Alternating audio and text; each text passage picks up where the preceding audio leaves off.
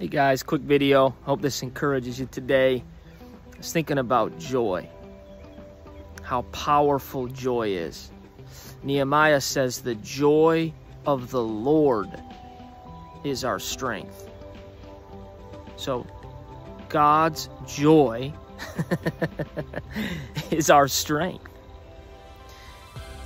It says that in his presence, Psalm 16 11, is fullness of joy and at his right hand are pleasures forevermore. Sometimes our minds can get programmed and we don't automatically think of God being full of joy, of bliss. You know, it says that God in Hebrews 1 that God anointed Jesus with the oil of gladness more than any other man. God's gladness, God's joy joy produced by the Spirit of God. In the book of Acts, they're suffering, but it says they were full of the Spirit and they had joy. Colossians 1, pray, Paul prays that we'd be strengthened with his glorious power, with all patience and endurance, with joy.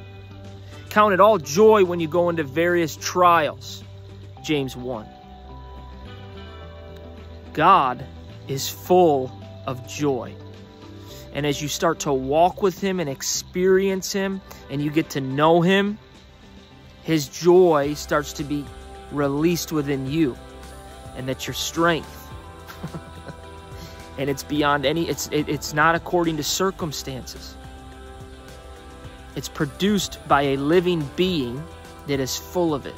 And it's, First Peter says that the joy of the Lord, that joy, this joy is inexpressible. and full of glory. God's joy is full of his glory. So I encourage you today, ask God, reveal to me your joy, Lord. I want to know it. Give me a revelation. Give me a revelation of your joy. Produce that joy in me, Lord. And may it flow so powerfully out of me that it touches those around me. Love you guys.